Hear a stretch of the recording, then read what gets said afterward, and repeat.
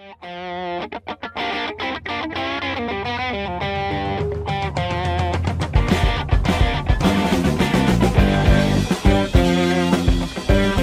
Everybody. Welcome to the Trader Merlin Show. It is your Thursday edition, the tail end of the week, the first day of June, and I guess the second month of continual construction. So they're actually right outside the window today. You'll probably hear some hammers and saws and maybe even some hooting and hollering going on in Spanish because they're just screaming over there having their Modelos, which, by the way, number one selling beer in the world today.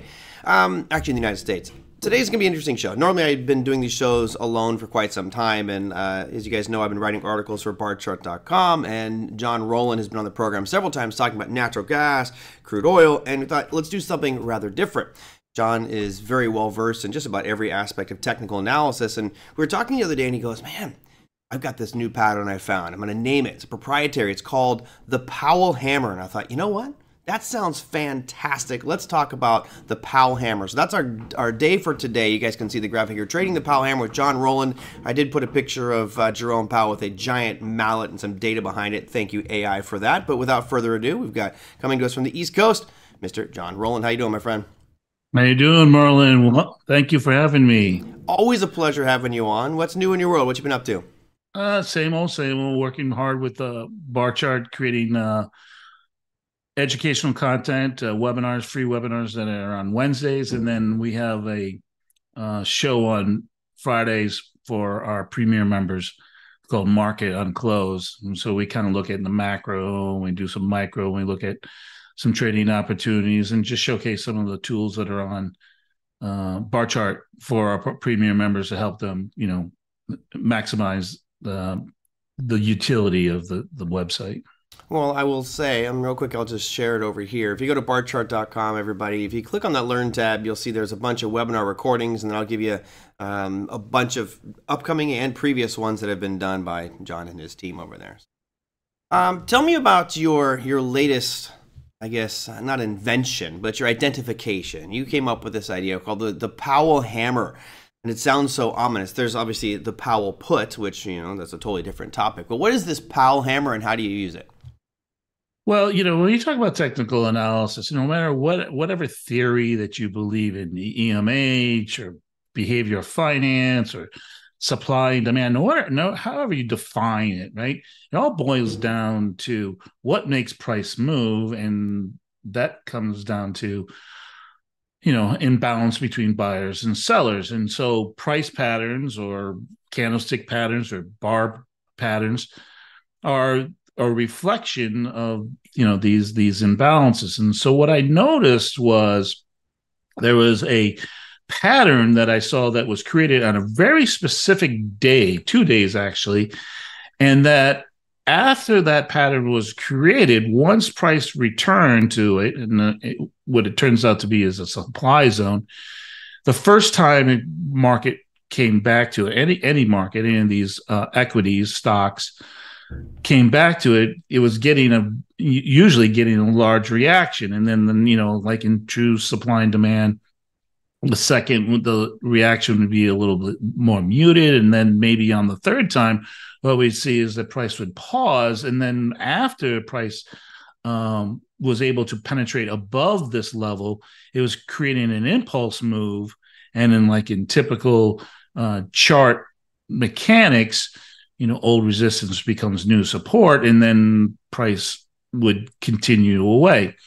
So let, let me share. You don't mind if i share for a second? I never mind i think my audience would prefer it if you share it over. Let's get some some graphics up there. Okay.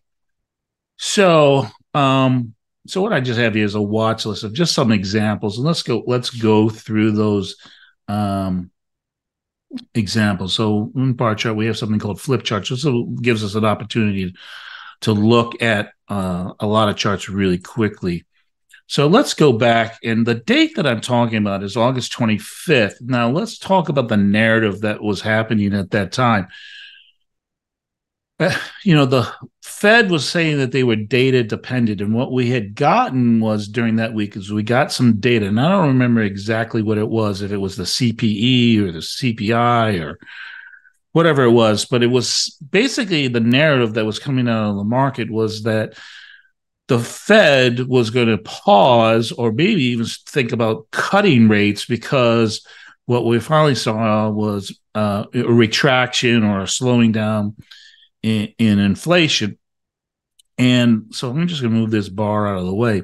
So and just so, so what so I can clarify, that date, by the way, the August 22nd was the Jackson August 25th. Uh, yeah, it was the Jackson Hole Symposium where Jerome Powell said, "Expect to feel some pain in our markets," and the market went, "Oh my goodness!" And well, I think it was the next day, wasn't it? It was it the Thursday, Friday, or Friday, th- Thursday, Friday. So I think what it was is the market had this narrative beforehand and jumped ahead, right?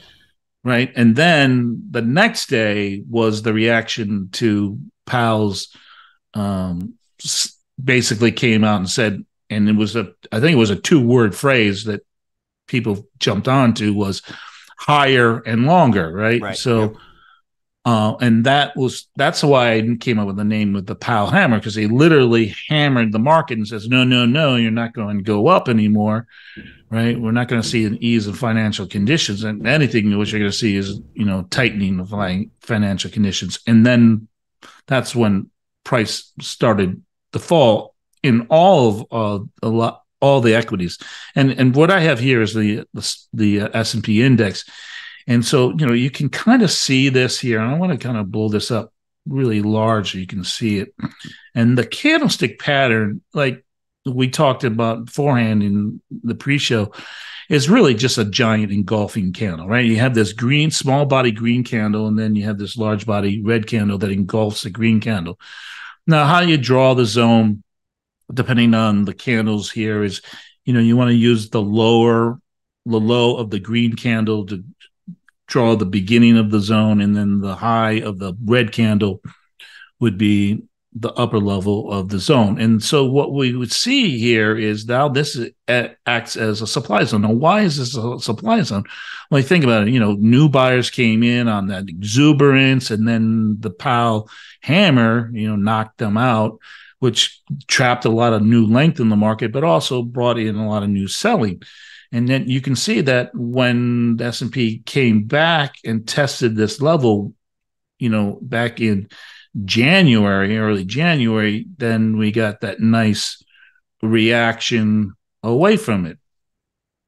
So what I'm saying is what this is just the S&P, but what I started noticing is that and a lot of equities regardless of when price comes back to it, right? Not particularly on this in this example here in February, but when price came back to it, that that we were getting the same reaction, this you know moving away, this supply zone, and then eventually what we're seeing was as you move forward in time, as we came back and would touch the zone multiple times, the zone was still working, but the impulse moves away, we're getting a lot, more muted. And then eventually, what we were see would would see is that once price eventually broke away, that you would get an impulse, and then that impulse could create an opportunity when price comes back in typical charting uh, mechanics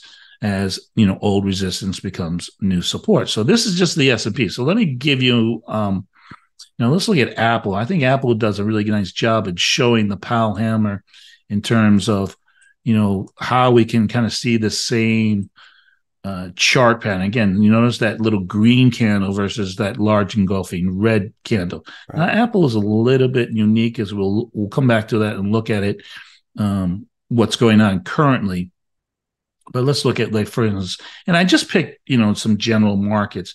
So here's Coca Cola, and you know, look at this. You know, we had three touches, you know, in a short period of time where, you know, we just couldn't get through the zone. And then you get that nice impulse. And then again, here's, you know, a second touch. So this, here's where it was a really a powerful supply zone. And now currently, you know, we're well below it. Um, here's Microsoft uh, again, you can see that little green candle, and here's the zone. And, you know, there's that first touch and pulse away. And then here's the second touch, right? Where, you know, it didn't get a big movement away from it, but it kind of consolidated around it. And then you got the impulse away, retest of the zone, and then another impulse away. Johnson and Johnson, you know, notice how we had a lot of touches just right after uh, the creation of the Powell hammer, and then you get that impulse breakaway, retest breakaway, and then what we're going to look at in some other examples is as price goes above and below, this level starts acting as kind of like a seesaw or a pivot point as well, and you can see that even after the zone would would we consider have been used up, how it's it's still price still reacting to this, you know, the zone. Again, you know, looking at it here where it failed to get above, and also when it finally broke below it, you know, get that nice acceleration away.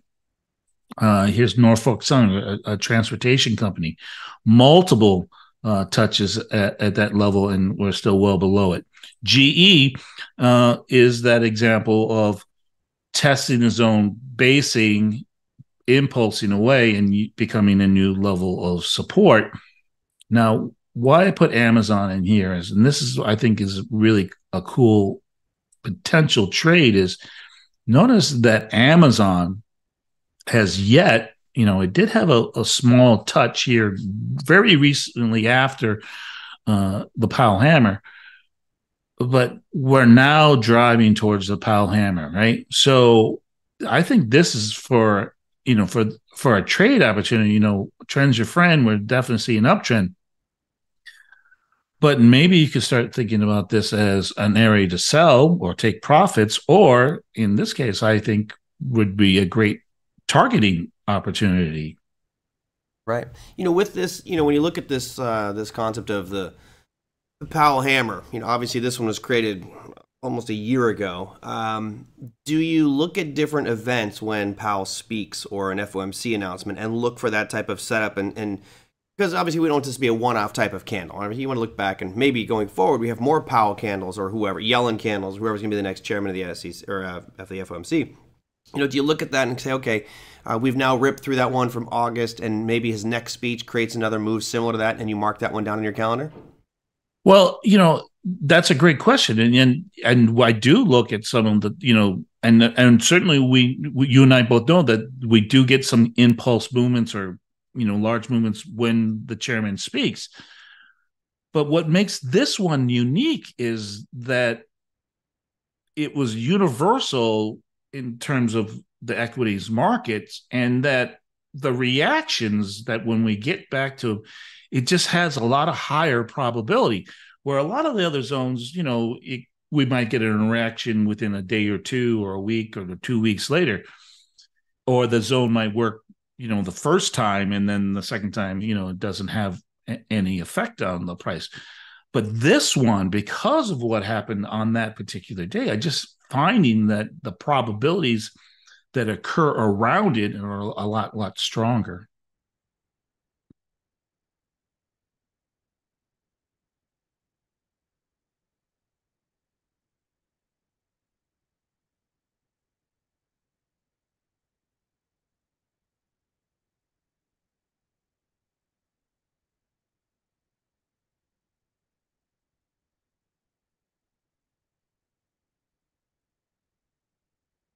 Yeah, well, so uh, so this is what I think is fascinating about this particular structure is like you said it's universal and temporal. In other words it was created on this this one these two days august 25th august 26th but as we look at you know as we look at other markets you know other equities as we're coming back you know some of these you know we're talking over a year later where we're starting to see a market react to this zone. I mean that I think is the power of this zone because you know as time goes on, a lot of these a lot of times zones lose a lot of their their strength, right? Right. Because things have changed, fundamentals have changed, right? But if you think about you know behavioral finance and you know supply and demand, right? This is where our longs were trapped, and so they would lo- love to get out once price got there but then you know those that were short might have been you know that was the time where they would you know they would set their risk and then if one price impulses away you know that's where they got to get out right so mm-hmm. like here's caterpillar right you know, it was only one candle that reacted to the zone, right? One little red candle, but then we got a gap. Now I'm wondering if this was an earnings gap. But again, here we are over a year later, and Caterpillar is coming back to the zone. So, you know, the downtrend for Cal, it definitely isn't a downtrend. But for me, this would say, hey, I would think about looking at a buying opportunity opportunity in um, Caterpillar if the scenarios of what how I define an op- buying opportunity played out.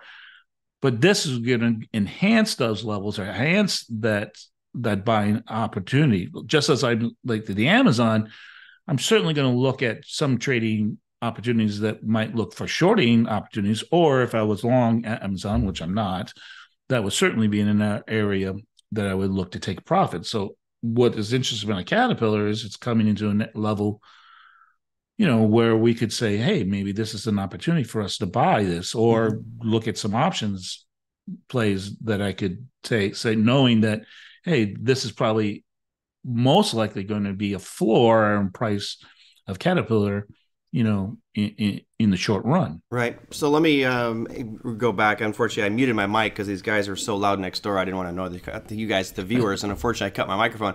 Um, my original question that you guys didn't get to hear was, you know, when you have an event like this, whether that's Jerome Powell, in this case, it's the Powell hammer because his words caused this action but it could be an earnings announcement. It could be other major macroeconomic pieces that cause a sudden shift in the markets. You know, it's one of those things to put on your radar and say, okay, let's let's look and see what happens when price comes back up to those levels. Because clearly, the statement made by Jerome Powell created an imbalance in supply and demand. Right, we immediately had more sellers popping in the picture. Things tanked from there. Now, I'm not one of those believers that says there's still sell orders sitting from August of 2022 at that level. But I exactly. do know that people like John Rowland and myself are going to look at those price charts. We're going to go where current prices and look off to the left and go, oh, wow, look at that huge down move. And if thousands of traders and hedge fund managers are all doing that same thing, it almost becomes a self fulfilling prophecy. So um, I, I'm with John. I think that these are great types of patterns to look for. The one piece I will add here, and I'm going to bring up John's chart, is go back to Caterpillar real quick. Uh, when you look at something like Caterpillar's chart, just if you're using these types of levels, and let's say you're, you're looking at the origin of a huge move, which he's got in the red box there, and you notice on that uh, late October, it rallies back up to that 199 line, and you're like, great, I'm going to go short because it's up at the supply level. Always, and I repeat, always, especially if you're trading individual equities, make sure you check your earnings calendar because while I normally would say this looks like a good short at that line, it had earnings that night and I would never have taken that one short based exactly. off the announcement. Just just right. like a little little risk management piece there. yes, exactly, and um, that is a great point in terms of you know what could be the catalyst that drives price through one of these zones or drives price right, and so that goes to Apple.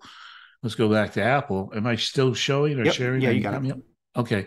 So here's our Powell hammer, and you know we came into that zone and I love, I love you how you and I think the same. Not only did the zone, now let, let me kind of zoom into here. So I just want to give you the big picture here. So let's zoom into, let's say, let's three, three months ago. So we came into the hammer zone and we went right to the tip of the zone and we came out. Not only did we come out, but the next day we gapped lower. But guess what saved Apple at this earnings. point? Yeah, earnings. This was earnings. The next day, boom, then earnings. But here's where the, this is that power of this zone in terms of, you know, looking for trading opportunities. We got that impulse away from the zone, and then what is now acted as a level of support, a very strong level of support, which took what one, two, three touches here, and now what we're we're impulsing away. So um, what we could be seeing, for instance, like in the S and P, which is kind of interesting. Now we've had we had three touches inside the zone where it came out, and now we're what we're kind of floundering around of it, and we're getting close to impulsing away. Now, from a technical stand, aspect, you know, this 4200 level, I think is you know one of those levels that a lot of technicians are looking at. So for me, this is not this big candle is not a, a, a, big enough impulse for me. So one of the things I like to do is I like to look at technical analysis and I like the ATR. And so I want to see uh, a multiple of ATR from an impulse level or a breakout level. So for instance, the SPY here or the S&P index is around 45, 46 points. This is the 20 day, but if you look at the nine or the 14, doesn't matter. So I want to see it move a multiple two times outside. So above 4,200, now we're talking about 4090, right? 4095 ish. Mm-hmm. So to me, that would be a confirmation of that impulse away. Now, the only problem that I see for the S&P is that just above this breakout, there some could say, you know, would make the argument that, you know, you're coming into another level of supply that was the August high, somewhere around, you know, that 42.95, 43 and a quarter.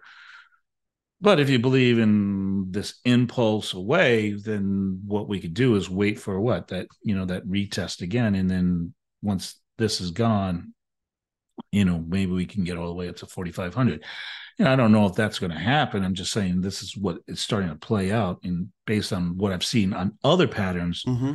um, you know, with the well, you, hammer. Well, you and I know, especially looking at price charts like this, that that that that picture right there is telling you the story of what, what are we on now? That start goes all the way back to uh, April. So that's literally a full year of pain, suffering, emotion, greed, right? It's all the reflections of every trader that's traded that thing for the past year. And right now, it's been looking great. And we've been talking about this on my show. Is you know the S and P it looks strong. It's making higher highs, making higher lows. Now it's certainly meeting that uh, that Powell hammer line and broke through it. And you know, Isaac, who knew that Isaac Newton would be such a great trader? He probably would have been fantastic if he just applied his first law of motion, right? Which says that an right. object at rest stays at rest, and an object in motion stays in motion until met by an equal or opposite force. So, with the chart that you've shown here today, what it looks like to me is that the Powell hammer you've identified as that equal or opposite force that's going to stop whichever trend it is, whether it was upside or downside. And and you know this one still looking great from a bullish perspective, and you know you have to go out and see where other movements happened. And on that S and P, you're looking at about 4,300. Um, on the Nasdaq 100, yeah, it's a little bit higher than that.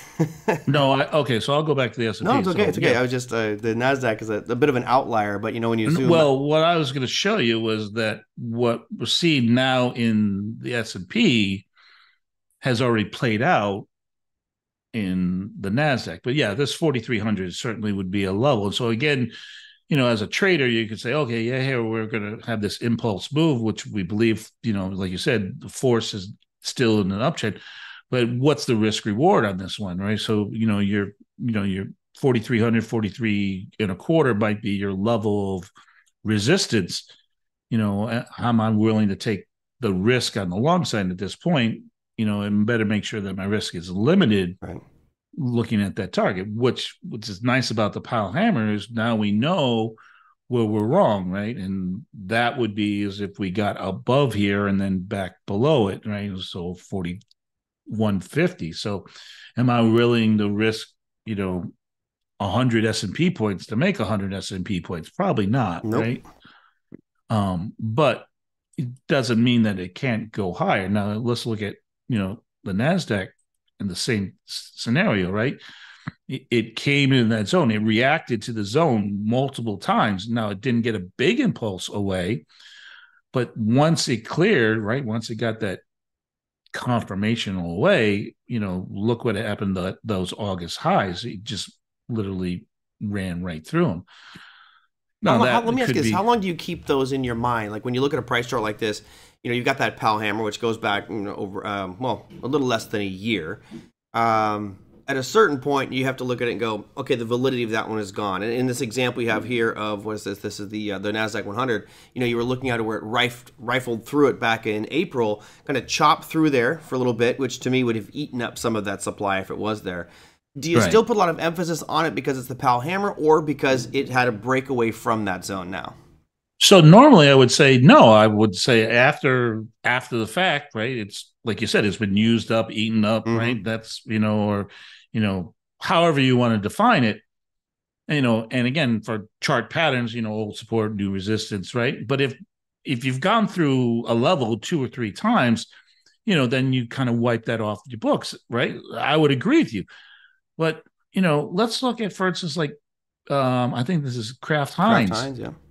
Um, and this is not unique to Kraft Heinz in terms of what I've seen here is what is happening with the Powell Hammer is now it's becoming kind of like this this seesaw, this this swing pivot where price something happens when we come back to it, right? I mean, we've we've been above and below this line now, what three, four, five yeah. different times. Right. But you can see how prevalent this level is on, let's say, a micro level, right? It, here, here it held support, and then when it broke away, it fell hard. Then it became resistance, right? Based, and then it broke away, and then when it fell hard, it became resistance. So this is not unique. So that's what I think is this zone is so interesting is that even markets that have been above and below multiple times, it still becomes a relevant zone, which is very fascinating to me. Yeah. Right? Yeah, I mean, uh, uh we're behavioral analysis. Like you and I end up being psychologists and reading. These are our Rorschach pictures we have to look at. And what do you see? I see a dolphin with rainbows. yeah, what is that? It looks like a kitty cat with big eyebrows.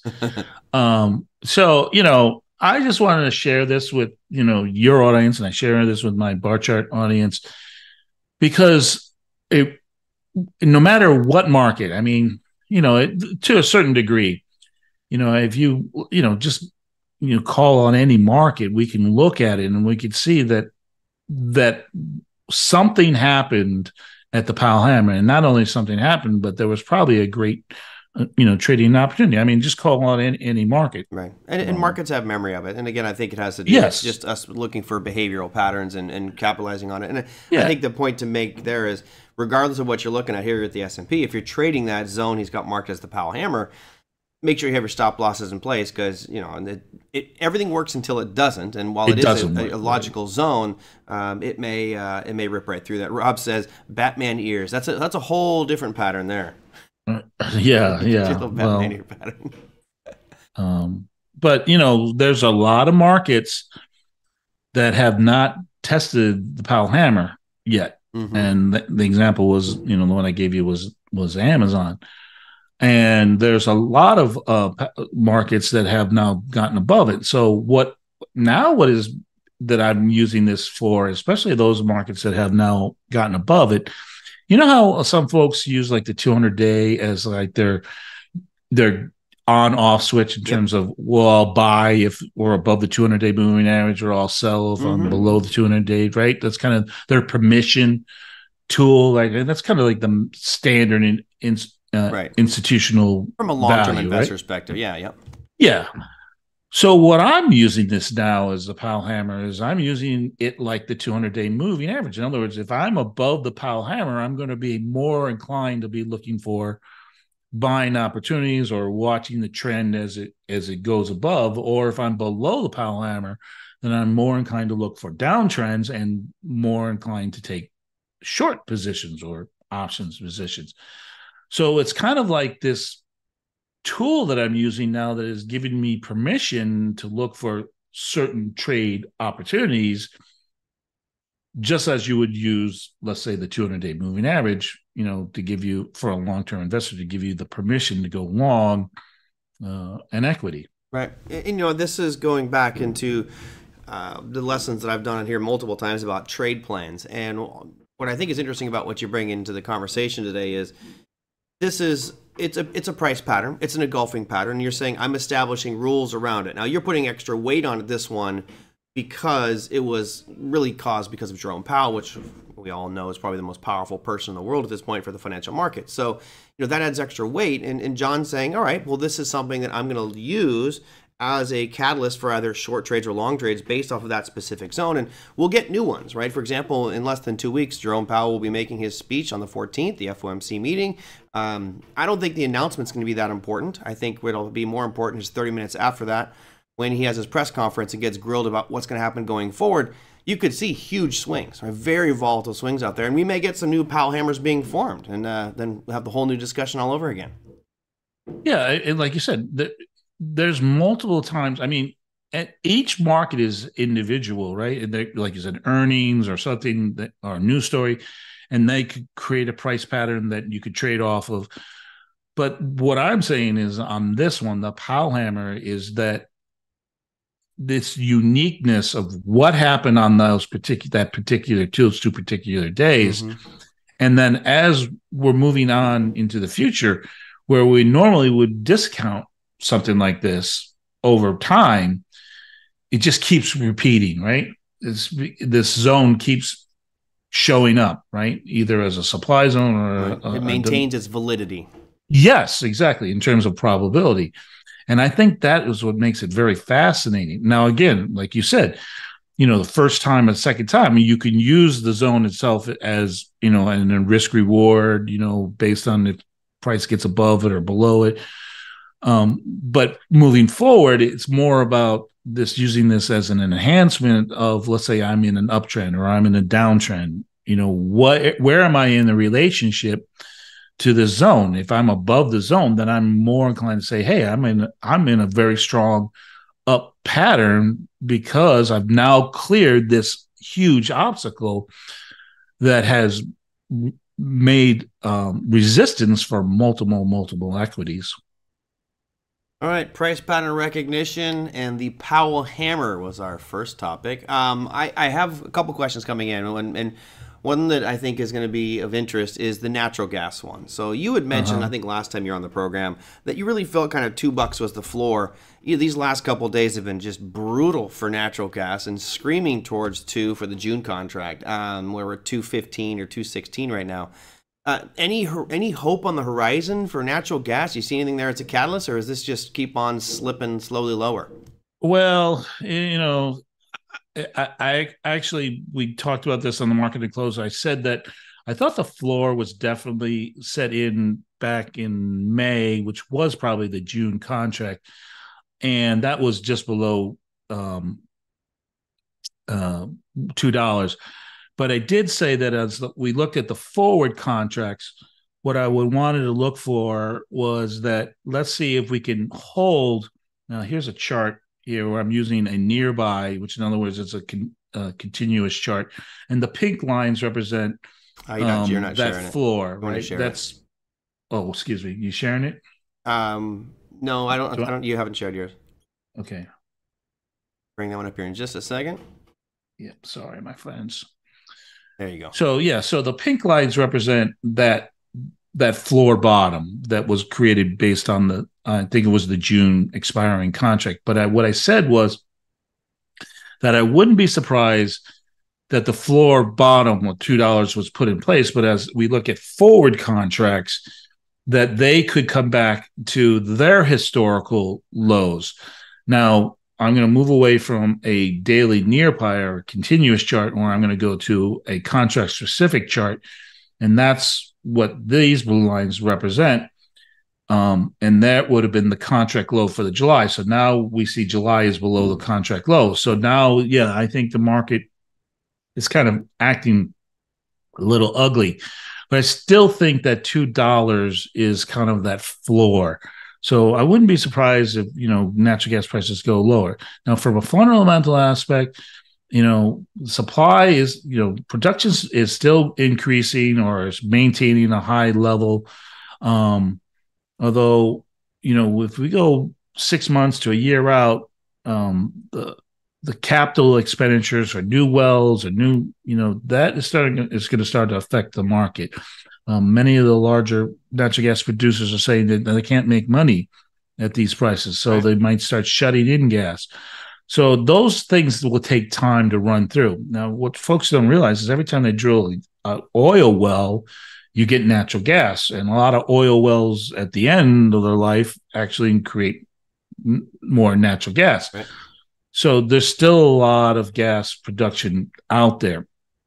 Um, and the other thing that has helped natural gas in the past is the LNG market, right? The liquefied natural gas, and that in areas like Europe and Asia, where last year they had a low supply, and that was what drove natural gas to extraordinary values this year. That has now alleviated itself as well. So the fundamentals don't look very strong. But as a trader, from an equities standpoint, I think that you can start looking to be more of a buy a dips type mm-hmm. mentality. Mm-hmm. Although I still think there's some more risk to the downside. Yeah, Does and I think if sense? you're doing that, you got to be careful with things like um, if you're using BOIL, which you know you got these doubles and triples out yeah. there. Be careful because if you're in UNG, it's one thing to hold them long term. You will get some time decay, but as you use these leverage instruments, that time decay or that decay, as longer you hold it, uh, gets much more pronounced. So you may buy something when natural gas is at, at two, and then six months later it's still at two, but you bought BOIL and now you're down 30, 40% because right. of time be, decay. Be aware. You know, what I, my advice on the BOIL market, the, the in that one particular is if you see a well defined trend, um, one way or the other, you know, the, the, the, um, I think what's the KOLD, KOLD is the inverse um, leveraged natural gas, uh, KOLD, I think it is. If you see a defined trend, then those instruments are very good for that, right? But what you have to realize is that every time at the end of the day, they recalculate or, you know, how they de- calculate the derivatives that they use to be, get that leverage. Right. And so if you're holding this for a long-term investment, you're you're you're fighting that recalculation everything. So it's a good short-term instrument. And when I mean short-term, I mean like three days, five days, maybe a week or two. Um, if you have a long, you know, a nice defined trend, then you know a longer period of time.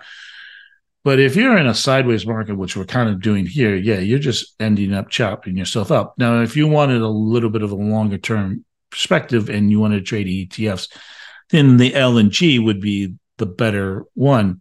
Um, but again, you got to worry about you know rollover and as you move to forward contracts. And you know, here we are in the July contract is trading two dollars and fifteen cents.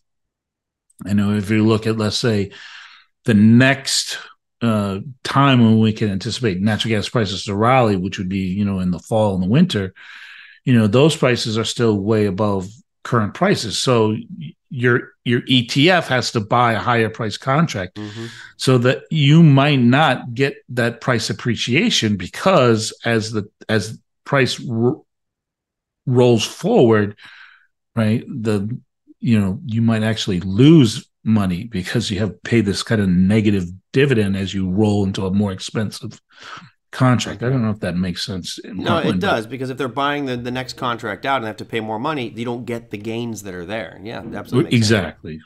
Right.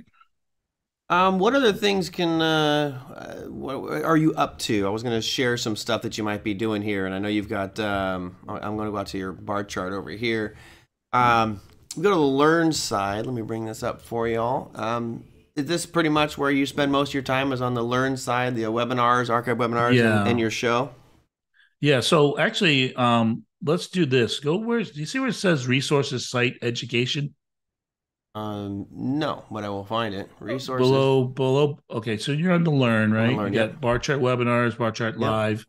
The live show is that Friday show, and then right there is resources site education. See that? Um, resources. Damn, but where is it? Yeah, let me share. Yeah, um, obviously I'm not. Am I sharing? It. Yeah, hang on. I can see your screen. They can, but um, okay, side education. Um, there we go. Oh, got it. Got it. Got it. Okay. Yep. All right. Yep.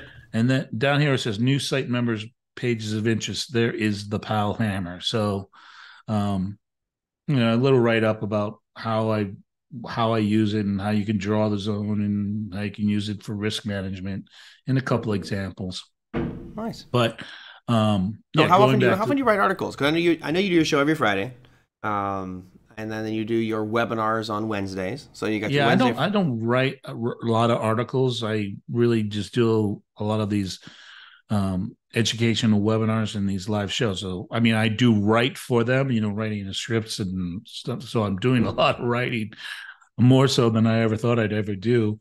Um, but no, I don't write a lot of articles for the site itself. I'm more creating more of these um, uh, these webinars. And the one that's coming up next week is the Squeeze by John Carter. Now, he's a famous uh, trader and also market technician. And one of his uh, uh, tools that he uses is called the the squeeze, and is based on the theory that when the Bollinger Band bandwidth gets inside of the Keltner uh, channels, that's telling the market is really coiled and condensed, and it's getting ready for a big volatility move.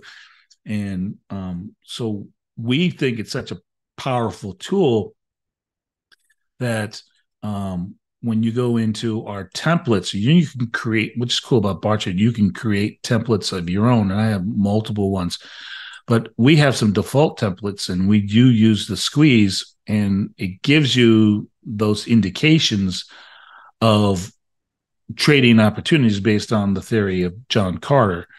Um, and I'm going to do a webinar on that, how to use this template and how do you read read the chart in terms of uh, trading opportunities. Nice, that'll be a good one. I, I know John. I've uh, did the trade show circuit with him for many years back in the in the 2000s. So good guy, fascinating individual, and I'm super super intelligent too. Right? Yeah, very. Well, you can have another uh, super super intelligent guest on your webinar on the 28th of well, yeah, we haven't announced it yet, but there is a rumor I heard that your my very own best friend Merlin is going to come on, and we're going to do a session on cryptocurrency. So look for that. Um, and we're you and I have been working hard putting this together, and I'm looking hopefully this month. Hopefully that. this month. We're, we're, yeah, it's not official yet, but uh, it it's good. It's going to happen. And and uh, that date will tentatively right now is June 28th. So I'm looking forward to that, and I know, um, based on the work that you and I have already done, the preliminary work, that you're pretty excited about it as well, right? I am. I'm actually more excited that you know I get to interview you here all the time, and I don't know if you enjoy that or not. I think you do, but. I don't get interviewed very often, so man, you better uh, have your, your your buzzers like to cut me off because you know I like to go and talk about this uh, stuff. Don't so. worry, I got my pencil and I got all my all my questions already, and I'm going to grill you like a hamburger on Fourth of July. Bring it on, or a tofu burger. Don't want to offend any vegetarians in the crowd. All right. Well, I guess that will wrap it up for today. Again, uh, guys, we had John Rowland on today. If you want to know more information, visit the chart I have over here, which is barchart.com. You can follow them on Twitter as well. They put out a ton of fun, engaging content, and they likes to pick on Jim Cramer a little bit. I noticed, which is one of my yeah, favorite we do, things. We do, do pick on him a little bit. it's easy to do. He's he's definitely making himself a great target. Yeah, his big giant target on his back, right? You know what? He's laughing all the way to the bank. But anyway, check out yeah. uh, check out Barchart on Twitter. Check them out at their website, which is barchart.com, and uh, sign up there for the premiere so you get access to all these different services they have there. So awesome, John. Well, thank you very much. I appreciate you coming on today, as usual. Um, you know, it's been, been a while since you've been on here, but I look forward to working with you on Barchart stuff or coming back on this program for more more education and information. Always my pleasure, my friend, and the best of you and the good of all trading. Sounds good. Take care, my friend. All right, let me uh, real quickly answer a couple questions here. That one that came in. Let me get these headphones out. Oh man, doing a show with headphones is so different. I can hear. Um, there was one question I might want to get to. Uh, where was it? Damn it. Okay, can you do? Oh, uh, Mike, you asked, can you find the? It's the Powell hammer, as in Jerome Powell. And there's the the wonderful graphic right there. And what he's saying there with the Powell hammer is it's just simply an engulfing formation. So when I look at, um, I know we don't want to do that. Let's go to, oh, when you look at the formation, this is just simply an engulfing formation, right? You have a small candle right here, this green one, and then all of a sudden the next day is this monstrous engulfing. And the only way you can have this huge red candle that formed on what August 26th is an imbalance in supply and demand, right? That's really the bottom line to it. So his version of a Powell hammer is really a giant engulfing pattern, but caused because of Jerome Powell. And he's using that as kind of a line that he'll reference going forward as a supply level in this case because price sold off. But you could also have a, a Powell hammer, uh, well, I guess you could call it. This is technically a, a Powell bearish engulfing, right? Not really a hammer formation, but it does look like a big hammer up there. So he's that's his definition of it is saying it's this engulfing formation he's calling it a hammer because it just crushed the market but i would argue we could probably have that facing the other way as well and utilizing that as a demand zone if we saw it the opposite direction in this case it's a supply zone as you saw i think you mentioned apple was creeping towards that line as well All right. Um, hey, Joachim, good to see you. Yes, I'm all healthy. For those of you who were supposed to be in the uh, digital asset session last night, it's weird. I did a, um, a set, two sessions for OTA yesterday, and I did I did one. I didn't realize I was supposed to do two. So I did a 10 a.m. XLT general session, which I thought was my digital assets class. So I went about my day. Everything was growing great, and then um, I realized because Joachim messaged me, said, "Hey, uh, you okay? You were in, we were in this digital assets session." I had no idea that I was supposed to do a session last night, so I apologize for that, Joachim. We'll make up for it one of these days. All right. Uh, Rob says, wait for the big one. Well, it'll be a, a, fun webinar that John and I do. We always have a good time working together. It'll be different this time. He gets to ask me the questions. Uh, nothing happened. I just didn't. It wasn't even on my calendar. I can show you my phone. There's nothing on my calendar that said I had a class uh, that night. So some somewhere communication error. My my apologies. All was good. I was. It was funny is the digital assets. I usually have maybe 20 or 30 people in there. But all of a sudden, that morning session had like 180. I think 185 was my maximum number. I'm like, whoa, what is going on in here? It was the XLT general session. I had a bunch of people in that one. All right. Um, let's see. Did I have other questions I wanted to get to? No, I'm going to wrap this one up. Yeah, I did miss a session, which is kind of surprising for me. I am usually very on time, very prompt. I hate being late, so the fact that I missed that one kind of irritates me, but not much I can do. Uh, let's go and look at your economic calendar for tomorrow. So I will bring this one up for you guys here. Uh, let's see, this is June 1st. Tomorrow, we'll scroll down to our Thursday. Actually, real quick, let's talk about today's economic data because the um, ADP non-farm employment change came out a lot higher than expected, right? They were 281,000 was the previous number. They thought it was going to be 173,000. So they thought a contraction there was a lot more jobs created than they anticipated. So that's a relatively positive sign for the market going forward. Uh, of course, you had ISM, ISM manufacturing numbers, which were slightly lower than expected for the manufacturing PMI, and prices were dropping as well. So, from an inflationary perspective, this is actually rather good, which is part of the reason I think you saw some nice bullish markets. And lastly, uh, before I get to Rob's comment here, uh, is let's look at the Fed funds futures, guys. This in the last 24 or 48 hours, it's been a huge swing the opposite direction. Again, I have been saying all along that I am in the camp of a rate pause. I don't see them raising at 25 basis points, but you go back a few days, it was like a 71% chance of a raise of 25 basis points. And look how quickly it's changed and it's falling right now.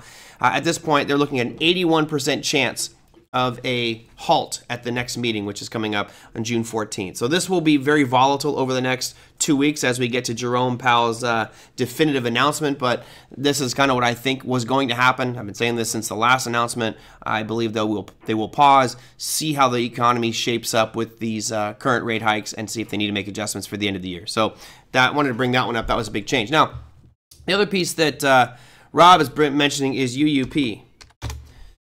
So I have this tail as well. So this is what's called a fat finger. Now I don't know exactly who did this, but you look at this and you're like, there's no way that could have happened, right? It looks like an outlier. It's by far the biggest candle that you've ever seen on UUP because like this this big move here is one candle. Now UUP is a U.S. dollar uh, index. It's, it's long dollar ETF. So what I'll do is I'll split this up into let's say a five minute chart. Right? I'm going to do it in two time frames, but here's your five minutes. And you notice that during the course of the day, there's not a lot of volume on this thing. It's actually very light. It does not trade much at all. And on average, it looks to be like maybe 16,000 or 10, just a few thousand. So let's call it 5,000 actually. It Looks like the, the average. 5,000 shares of UUP traded every five minutes. And then all of a sudden, this one window minute or this five minute bar right here, you had 212,000 shares traded. So that's a fat finger or somebody who doesn't understand trading. Because if you have a big, I, I, always mention this with you guys. I say if you're trading something that's thinly traded and doesn't have a lot of liquidity, you can't trade big share size, right? You, you're going to move the market. So what happened here, and I switch it now to a one minute time frame so you guys can see how big this was. All of a sudden, in one minute, it was 198,000 shares traded like sold and it just caused a huge drop in this because there's no liquidity on this bad boy. It just completely fell apart, rallied back up, and now it's right back up to where it was. So this is the problem again of, of low liquidity and trading big share size. This is a novice. Whoever did this did not understand the principles of liquidity and getting out. So I wouldn't say this is a precursor to a, a market low. This is just somebody who unloaded a huge block of shares in a very thinly traded market. So, you know, UUP is right back up where it was. So kind of crazy. um, oh, align it with the Dixie. We can bring that one up. Let's do that. Let's go to. Let me start with the daily, and then we'll just add on the Dixie. Go DXY.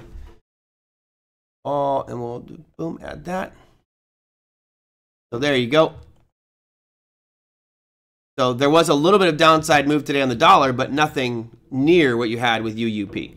So what happened is the dollar started drifting down right near the close. Uh, let's see, not near the close. Let me go to the five, three minute chart here. So you notice that the dollar index did not, the Dixie didn't tank like that. Somebody just sent a big sell order on UUP. That's all. And here, let's look at the, uh, let's look at DXY by itself, just so we can see Okay, now I've got two things going on here. Let me get that one off and take the dollar index off. So there's your three minute of the dollar index. You see there was no big sell off there. Yeah, I remember it happened with GDX, but what happened with GDX was unique, Rob. So uh, those who might be new to the show, Rob had some really interesting things happen.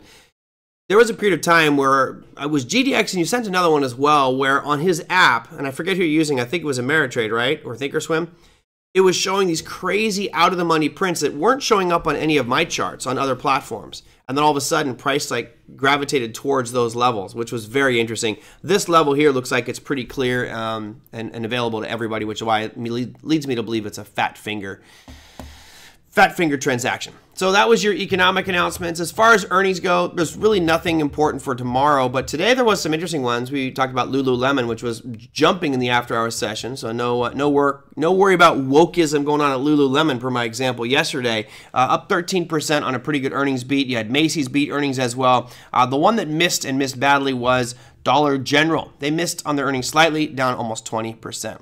Mm-mm.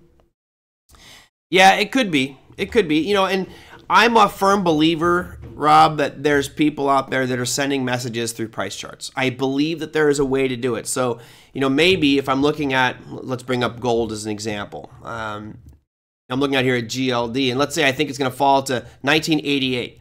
So what I'll do is I'll sell one one contract or one share of GLD at this 1988 level, and that ends up looking to the network out there. It's like, oh, wait a minute what's it looks like an outlier print, but my, that might be a signal to somebody else that um, that that's where it's going to be headed. And you know, the SEC says they're watching all this stuff. I read some report that the SEC monitors all the connections and friends and relationships and golf partners of anybody who is a heavy hitter in the financial markets. To which I say, absolute BS. Yeah, no, Oliver, I I remember yesterday I was making the example of wokeism impacting uh, Lululemon, right? Lululemons and transgender probably going to be okay. Um, it was meant to be a joke yesterday, but anyway, uh, yeah, they had that negative the employee issue where they got robbed and they called the police uh, and the employees got fired. That doesn't make any sense to me. Really, just the weird world we live in. Weird world we live in. Uh, all right, so for tomorrow you have economic announcements. Let me bring that one up. I was actually just getting there with the Forex Factory. I'll scroll that down here. And there's what you got cooking for tomorrow. And this is actually fairly important, right? You had the ADP non-farm employment change painting a rosy picture of job creation. However, we've the expectation right now that unemployment was rising or is going to rise. They think it's going to go from 3.4 to 3.5 percent. Honestly, who cares? Um, the market will react, but it's so low. I don't think it's that big of a deal. What will be kind of nerve-wracking for the market is if we get a jump that's higher than 3.5. You know, if it all of a sudden jumps to 3.7 or 8. Um, then I think we could see some some issues. Even though it's still historically low, it's the rate of change that would be of concern. And here you can see the long-term picture of your unemployment rate here in the United States. You know, I'll scroll in to where we kind of flatlined. Yeah, You know, having a pop up in the unemployment rate would really be no big deal. Uh, um, I don't think it'd be a problem at all. We are well past full employment, which the Fed said was five percent. So there we go. Um, it's art, not science. And it is. And speaking of art and science combined, uh, there were more headlines today about uh, hedge funds now laying off some of their mid tier uh, workers because of AI implementation using ChatGPT in the corporation. So that snowball is starting to starting to build up some momentum. Layoffs may start hitting here real soon. All right, that's going to do it for me, everybody. I'm going to wrap up. I'm going to go uh, take the dog to the park, hopefully, before it, uh, looks like it's going to rain out here today in Southern California. Powell said he wanted unemployment higher. I, I I don't know if he necessarily wants it higher. I think he's okay with it being higher, right? There was this huge push back in uh, 2009 when we really were, you know, very high in unemployment to get it to full employment. That's what um, uh, Jerome Powell or, or, Ben Bernanke and Jenny Yellen kept saying: full employment, full employment, full employment. And to them, full employment was five, I think five and a half percent. So now we're here, here at 3.4 percent. Like we're way low. I mean, you you you can't get much lower on the unemployment rate in the US, right? Call it pretty much full employment. So getting it popped up to 5% would still not be that big of a deal. Anyway, um, tomorrow's unemployment number will have an impact on the markets. We didn't really look at the markets today, so uh, I will I will catch us all up to speed on that one for tomorrow. And what happened in our weekend edition? It's hard to believe that this has gone so quickly this week. Uh, of course, we'd have a short week with uh, no Monday session. But anyway, that'll wrap it up. If you guys have comments, questions, things you want me to cover for tomorrow's show, send them on in. TraderMerlin at gmail.com is how you can get those sent in. Or, as um, several of you do, like Les, put them down below the YouTube video, and I will bring those onto tomorrow's show and give us something to talk about as I have a nice sip of whiskey tomorrow. All right, everybody, that's going to do it. Take care. Have a fantastic remainder of your evening. I'll see you tomorrow.